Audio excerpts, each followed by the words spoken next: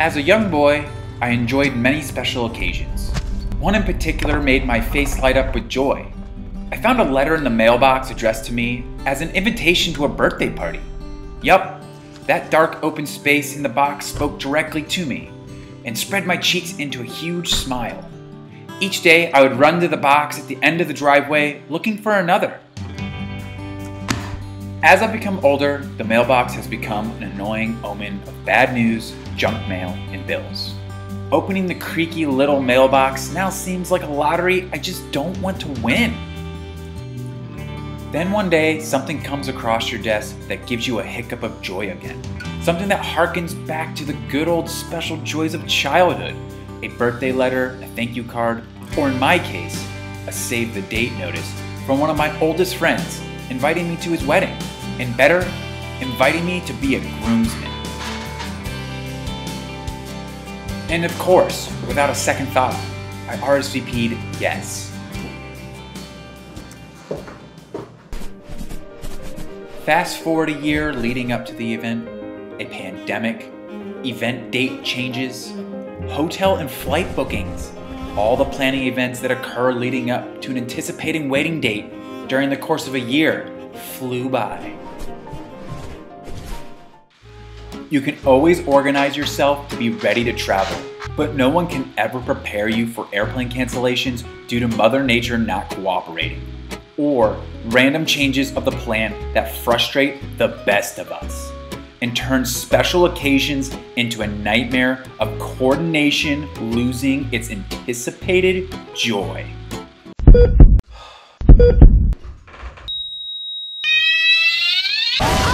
Are canceling flights all across the country. Canceled 284 flights. Sometimes there's no choice but to juice the lemon you're dealt and assess your options. Fly, walk, or drive. The choice was easy. There was only one spirited workhorse that could come to my rescue. Only one built with the specifications to aid my whimpering. Take me through mud, wind, sand, swamps, and anything waiting to leap into my path. This is the story about being there for someone, no matter if it is 523 miles away or you have to use the world's biggest map to figure out plans and actions on how to get your 34 year old ancient truck halfway across the country. Well, here's my Hail Mary.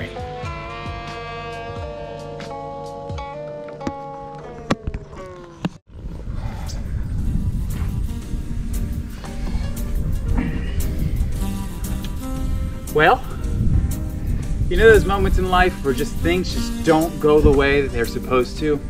Well, this is one of them. It's supposed to be going to a wedding this weekend. I'm in the wedding.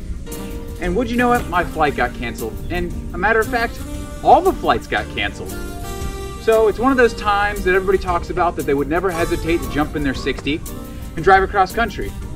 So I am checking all the fluids, grabbing some extra parts, grabbed two tires off my other FJ62 because these are bald. Praying that maybe this impromptu thousand mile road trip goes really well.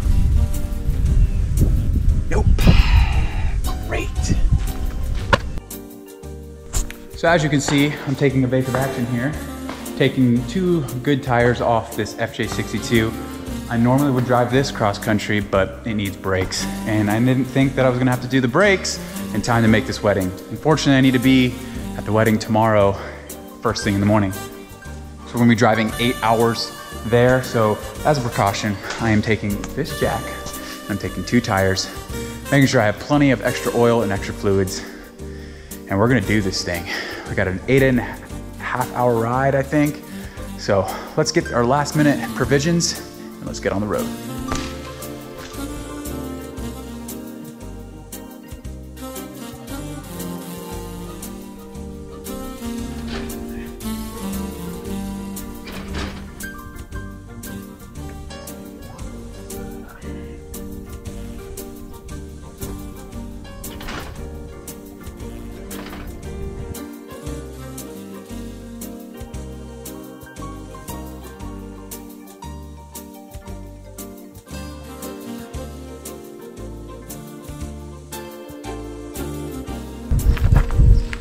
Y'all haven't seen the stuff that I pack into my truck at all times, especially when you're on a impromptu road trip, check out that video. I'll leave a link right here. Make sure I have everything just in case.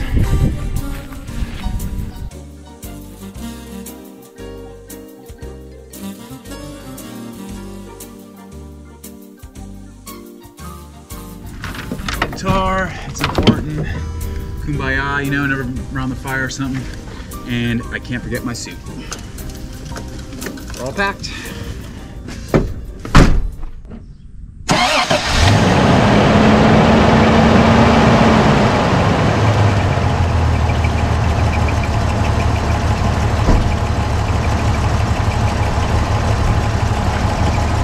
All right, so I want to check the engine to make sure that everything is good. Already checked the oil, fluids, but I like to check to make sure the belts are all good. Everything's looking tight. I don't see anything leaking. I got some extra stuff. I got an extra alternator, an extra coil and igniter, and a couple extra belts. Um, I think that's gonna be it. Motor looks good. Like to throw a little rev on it. Sounds good. I guess it's time to leave.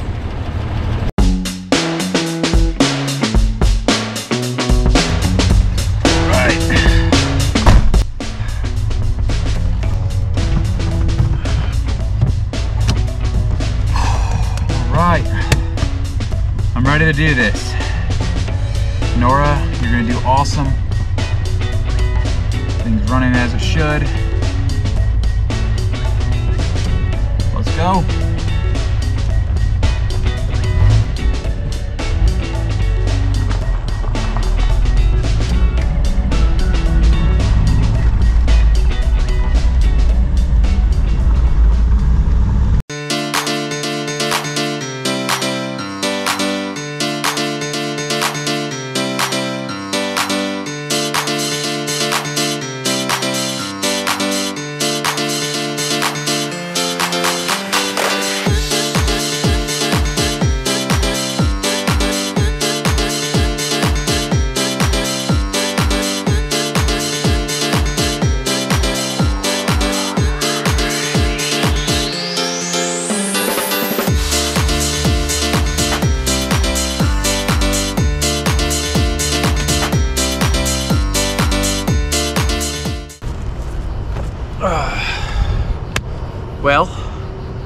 I've been driving for what seems like forever. I've driven through Virginia, Pennsylvania, and now Ohio. I'm exhausted. Still have three more hours to get to my destination, which is Michigan. I'm going to go to sleep now because I am falling asleep and trying to hit myself awake.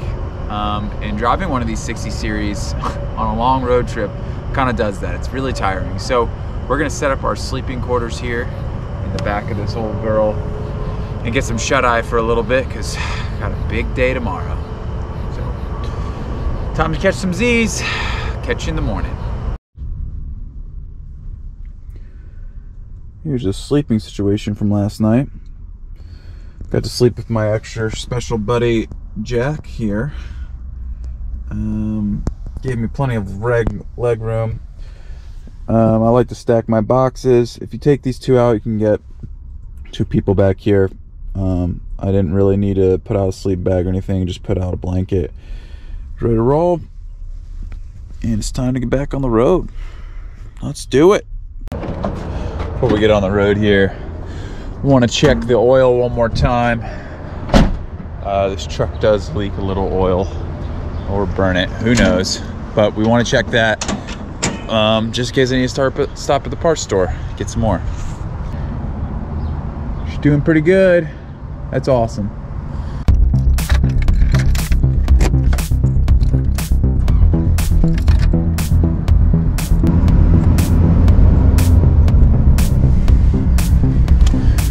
That's why I love these trucks. Starts every time. So warm up before we get back on the highway here.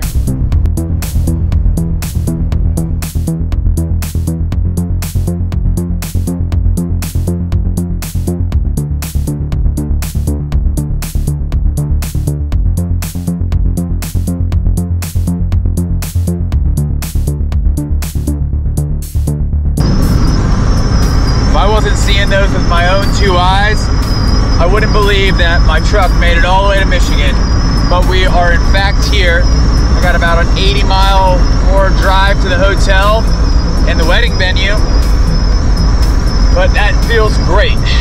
And this might actually be the last big road trip this old 2F is gonna take. As in the next couple weeks, we're gonna be putting that performance motor in and should be able to go anywhere. So, count my blessings on that good old 2F. Oh, that was the longest drive I've ever made. But the 60 series made it. We are here in Michigan and I'm ready for a fantastic wedding. 60 series never lets you down. Let's enjoy this wedding.